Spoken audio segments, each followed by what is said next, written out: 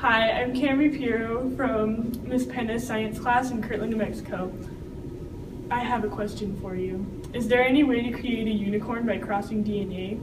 Hi, I'm Dr. Sera Thornton from the biology department here at MIT, and I'm here today to answer your question, how do you make a unicorn? So, I've heard an important part of being a unicorn is being magic, and I can't really help you with that part, but let's talk about making a horse with a horn in the middle of its head.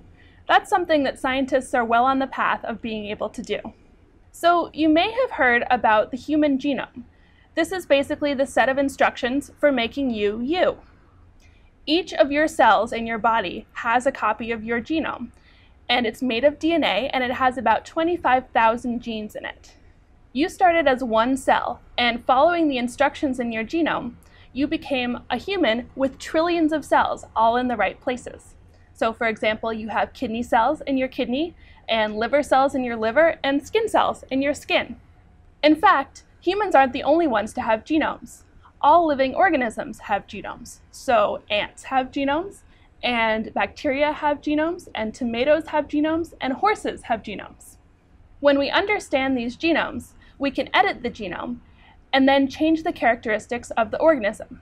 For example, we could take one gene from a flower that makes that flower blue, insert it into the tomato genome, and make a blue tomato. And that's pretty cool.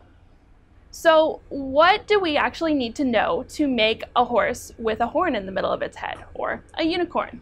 Well, we want to know what parts of the genome will actually make a horn in the middle of the head. So maybe we could take a look at the rhinoceros genome, because rhinos have a horn in the middle of their head we actually know what the sequence of the rhino genome is, which means we know what it looks like, but we don't understand the whole thing yet.